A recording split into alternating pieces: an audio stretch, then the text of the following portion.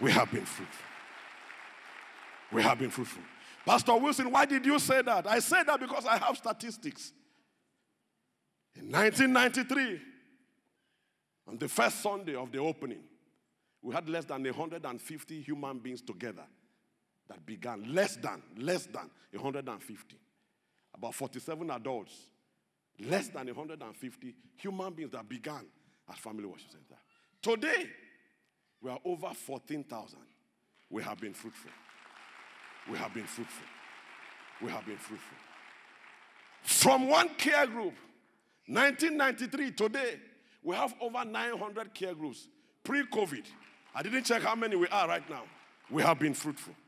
Have we not been fruitful? We have been fruitful. From one branch church, renting an apartment in Hilton, just one branch, we came to four. We came to six. On the 6th of June, we became 16. We are fruitful. We are fruitful. And it is with joy this morning to declare to your hearing that by September 12th, we will add another 30. We are fruitful. We are fruitful. We are fruitful. But God wants us to move from this level of fruitfulness to where? Much fruit. Much fruit. So, what should we do as a church? What we are doing already. We just have to be focused and do it more. What should we do? What should we do? The first thing I'll say looks like something you already know. First of all, I want you to accept the fact that it is God's will for you and for the church to be fruitful. Have you accepted that? So let's say it together. It's God's will for me and the church to be fruitful so we can multiply, so we can fill the earth, so we can subdue the earth, then exercise dominion. Say, I accept it. It is God's will for me to be fruitful. Let it sink. Let it sink. Let it sink. It is God's will for you to be fruitful. It is God's will for you to be fruitful. If you are a single person, it is God's will for you to be married, except you decide, I don't want, which is okay, acceptable. It's not a sin. But if you want, it is God's will for you to be married. If you are married, it is God's will for you to have children. It is God's will for you to own your own house and have other houses that you help people with. It is God's will. The Bible says for us to have and to have extras to be a blessing. We serve an abundant minded God. He came that we may have life and have it more abundantly. So receive. That's the first thing. Accept it. If the enemy has told you that you are not supposed to be fruitful, hear the truth of the Lord. God wants you to be fruitful. If your family if your ancestors have told you and have done anything to make sure you are not fruitful, I came in the power of the Holy Spirit this morning to declare to you that whether they like it or not, you will be fruitful because God commanded you to be fruitful in the name of Jesus. So the first thing is to accept it. For as a man thinks, so he is. So he is. The second thing is to refuse any excuse for being fruitless. Oh, our world has a lot of excuses now. There are no jobs, there are no contracts, unless you know somebody in government. If you are not from the north, if you are tall, if you can't speak this tribe, all kinds of excuses. The next thing is to review, refuse. As an individual and as a church, it is time for us to refuse any excuse for not being fruitful. That excuse is not tenable. It's not tenable. Somebody say it's not tenable. Exodus 1:12. I love that scripture. But the more they afflicted them, the more they multiplied and grew, and they were in dread of the children of Israel. You're an Israelite in the spirit. You carry the same gene in you. The more they afflicted them, what is that place saying? The tougher it gets, the more they expand. The tougher it gets, the more they expand. And that is why I like some brothers in this church who made extra monies last year, opened new shops last year, broke through last year. While we were locked down in the house, they were exploding. Why? The more they afflicted them, the more they multiply. That is the empowerment. And God bless them. And say, Be fruitful. God says there is no affliction that should stop you from being fruitful. So today we refuse every and any excuse that will accept so that we can remain where we are. We refuse it. What should we do? We must become united as a church. We must become united as a church. Some of us are saying, mm, that is for the pastors, that is for the leaders. No. We must become one in this agreement to multiply as a church. We must become one in this decision to be fruitful as a church. We must become one. Every man, once you have made Family Worship Center your church, you belong to this assembly. And every mandate on this assembly is upon you. We must unite. We must agree that it is our vision. The 30 churches coming is our responsibility. The 100 churches in one year is our collective responsibility. We must unite. For two are better than one. One will chase a thousand, two will chase 10,000. In Genesis 1 1 to 6, the Bible talks about a group of people who came together and they said, We will build a tower that reaches to the high heavens.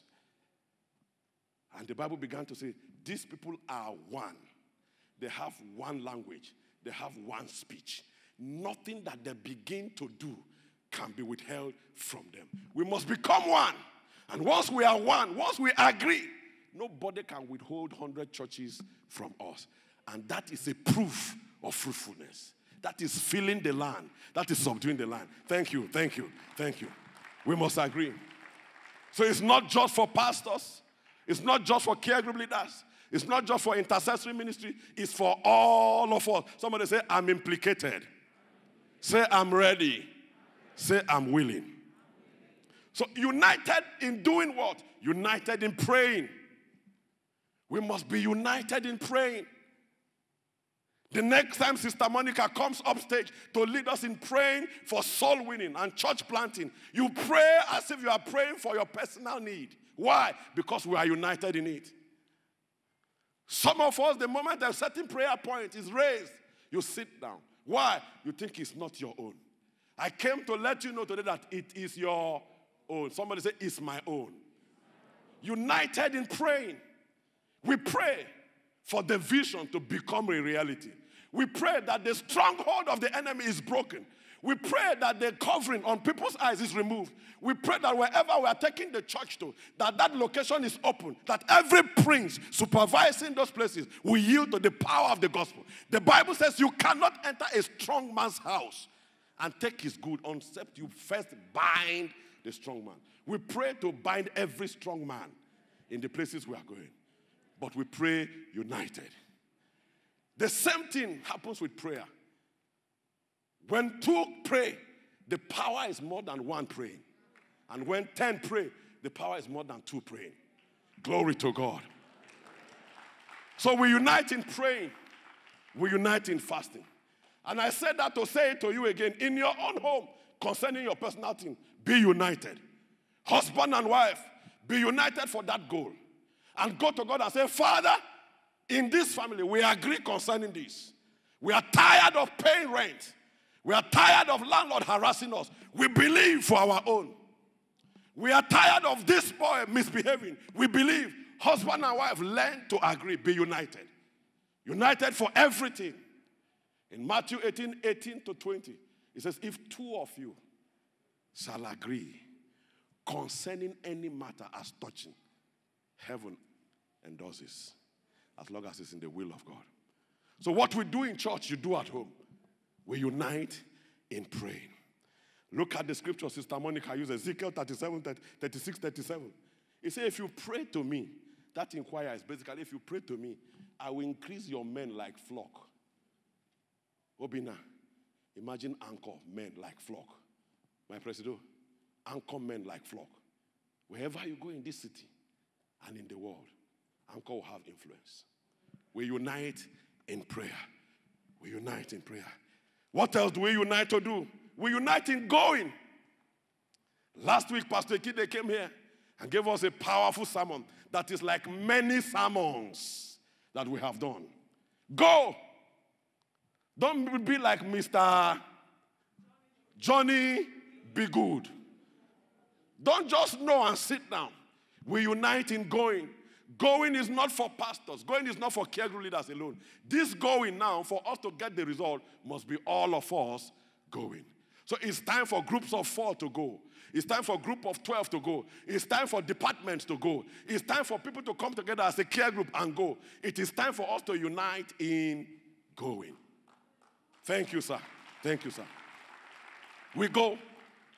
In going, iron sharpens iron. Somebody who is not bold becomes bold.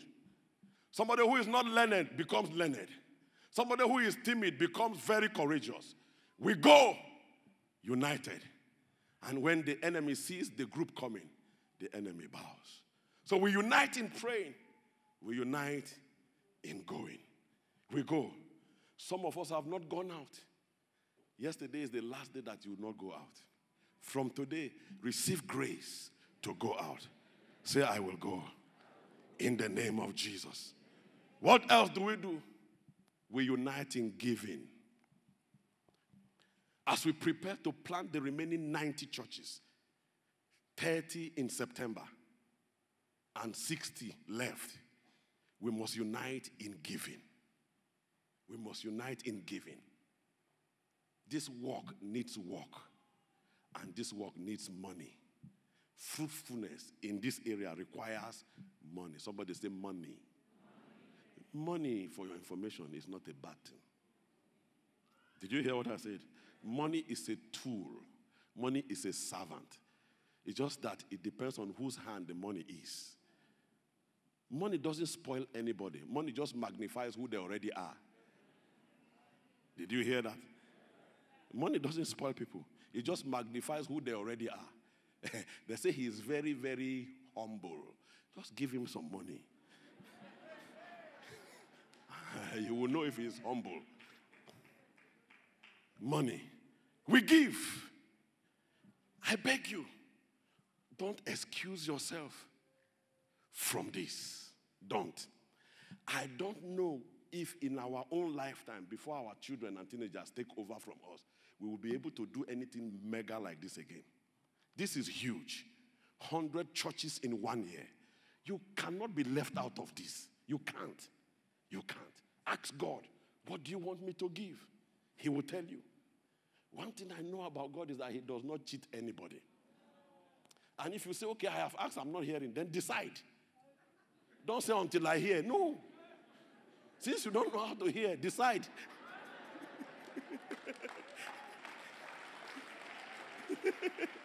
decide. Decide. And I'll tell you the best decision you'll make. Decide on something that will pinch you. My Bible says that those who go sowing with tears shall doubtless, somebody said doubtless, return with sheaves rejoicing. Since you are not hearing any amount, or you don't want to hear, which is okay, he's not angry with you. Just decide. But decide on something that pinch. Oh, my wife and I, we made a decision. It has not been easy. Uh, the first one was very easy. The three, the three that follow, because we do it monthly, this is like four months now, it has not been easy. This last one, we didn't have it. We had to go and start liquidating things that were already on ground because we want to make it monthly until it finishes. Decide. I want heaven to have a record that when this thing was done, Pastor Wilson was in it. Do you understand? It pleases heaven. It pleases heaven. It pleases heaven.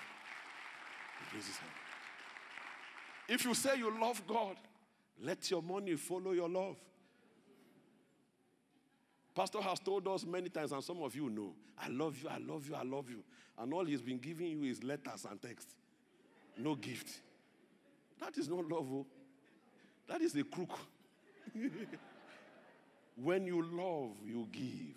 For God so loved the world that he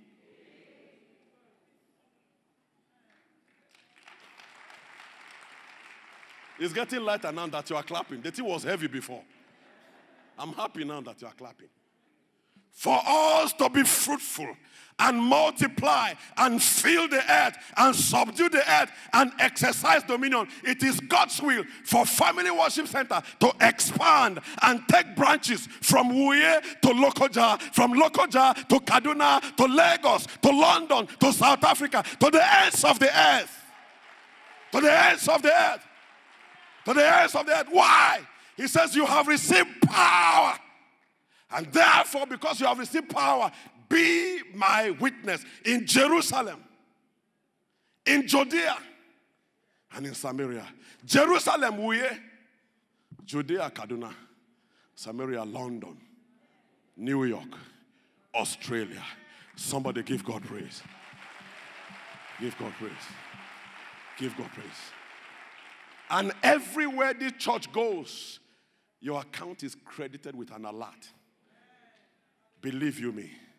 Anywhere this church goes, because of your seed, your account is credited with an alert.